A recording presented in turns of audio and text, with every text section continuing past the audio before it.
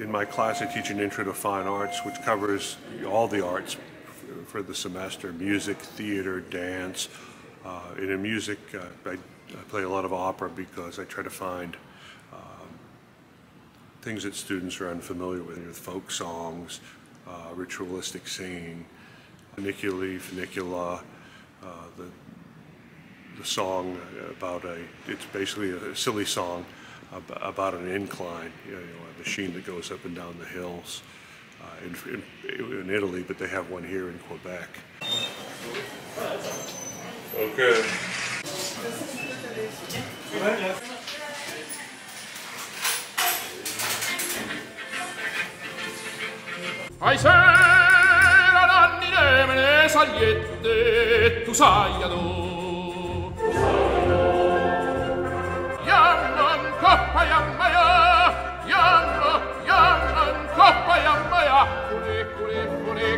pole pole pole kula